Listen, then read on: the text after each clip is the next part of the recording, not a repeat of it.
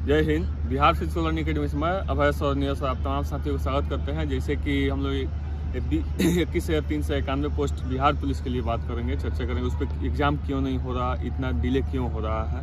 सबसे तो पहले तो अधिकारियों को ये बताना चाहिए कि बच्चा के हित में सोचना चाहिए कि हाँ एग्ज़ाम इतना डिले है तो क्यों डिले है?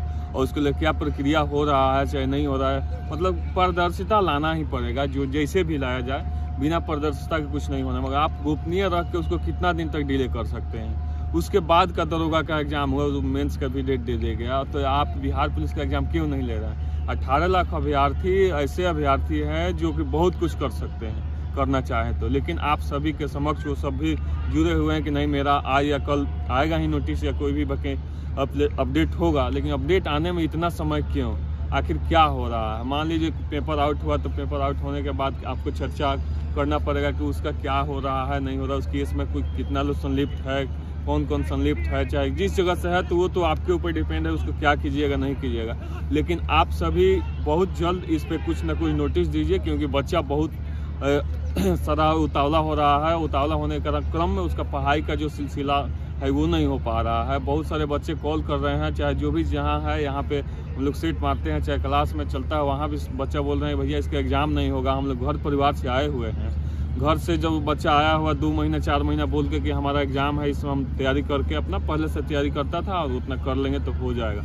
यहाँ आने के बाद एग्ज़ाम का डेट ही नहीं, तिथि पता है। तो बताइए उस परिस्थिति में उस बच्चा के घर पे कैसे वो इंतज़ाम करता होगा, पैसा कैसे ला कर यहाँ पढ़ाई करता है यहाँ रहने से मतलब आपको पाँच हज़ार खर्चा है मिनिमम तो आप समझ सकते हैं कि कितना ये रुष्ट होते जा रहा और अभी इस पर चर्चा अगर नहीं हो रहा है तो फिर समझिए आगे बहुत डिले हो जाएगा एग्ज़ाम के लिए। इसलिए आप सभी जितने भी छात्र छात्राएँ हैं हम सबके साथ हैं। अगर ट्विटर पर कैंपेन करना है तो उसका भी एक डेट निकाला जाए। उस डेट पे हम सभी लोग एकजुट होकर उस पर कैंपेन किया जाए। और नहीं होता है तो कुछ लोग और एकजुट होकर शांतिपूर्वक जाके और सी के अध्यक्ष साहब से मिल के उस पर जो भी चर्चा है, चाहे जो भी अध्यक्ष बने हैं, चाहे जो भी अधिकारी हैं, वो खुद व खुद बताएँगे कि एग्ज़ाम कब होना होगा या होने की तिथि कब है या होगा कि नहीं होगा, ये भी तो कुछ कोई ना कोई अपडेट तो ज़रूर देंगे। लेकिन आप सभी सम्मिलित होकर चलना पड़ेगा, सभी लोग को, कुछ लोग चलेंगे और एकदम शांतिपूर्वक जाके उनसे मिलेंगे, अपना जो अप्लीकेशन होगा सब लिख लेंगे, उसके बाद होगा। लेकिन अभी जो डेट का इशू चल रहा है कि एग्ज़ाम कब होगा, नहीं होगा, ये सबसे बड़ी बात चर्चा है कि इतना दिन हो गया, ना हम जान रहे हैं, ना आप जान रहे हैं, ना सी के अधिकारियों द्वारा कुछ पुष्टि किया जा रहा है। चेयरमैन बदले तो लगा कि नहीं चलो शोभा होतकर जी है तो वो हो जाएगा, उसके बाद फिर हालत चला कि और चेयरमैन बदले हैं, लेकिन उनका पुष्टि नहीं हो पाया है। रही बात कि आप इतने अभ्यर्थी हैं, बहुत सारे जगह पे मिल रहे हैं, ऐसे ऐसे फ़ोन कर रहे हैं, बता रहे हैं कि आप लोग साथ नहीं हैं, आप लोग खाली वीडियो बनाते हैं तो ऐसा कुछ नहीं है।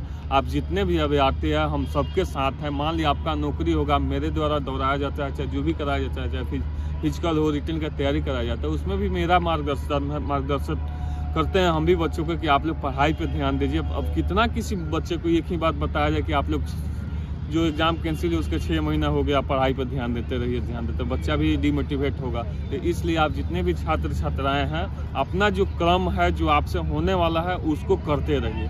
पढ़ाई का सिलसिला बंद नहीं करना है। पढ़ाई ऐसा चीज़ है, जो कोई बांट नहीं सकता है। और वो आपके पास है तो आप आज न, आज नहीं तो कल आप नौकरी लीजिएगा ही लीजिएगा। क्योंकि आने वाला समय में अगर पूरी तरह से अगर उसमें कोई संलिप्तता ना हो, धांधली ना हो तो आपका रिज़ल्ट बेहतर तरीका से होगा। इसलिए आप पढ़ाई को एकदम क्रम बनाए रखना है और जो साथ में चल रहा है, जो कब डेट आएगा, नहीं आएगा, इस पर भी अगर सब कोई सम्मिलित हो रहे हैं तो ट्विटर पर कैंपेन किया जाए और उससे भी नहीं हो रहा है तो आप सभी सम्मिलित होकर कुछ लोग जाएँगे, जो चुनिंदा लोग होंगे, वो जाएँगे और अध्यक्ष साहब से मिलेंगे तो उस पर कोई ना कोई डेट निकलेगा। Bihar phase colony academy YouTube पर भी है फेसबुक पर भी इसे बहुत सारे सब्सक्राइब कीजिए आप लोग, क्योंकि तभी बच्चा देखेगा, तभी इधर इसके, इस पर चर्चा हो पाएगा और अधिकारी के पास भी जाएगा। अगर वीडियो, अगर सब कोई देख रहे हैं और शेयर कर रहे हैं, तभी इस पर कुछ अमल हो सकता है। जय हिंद।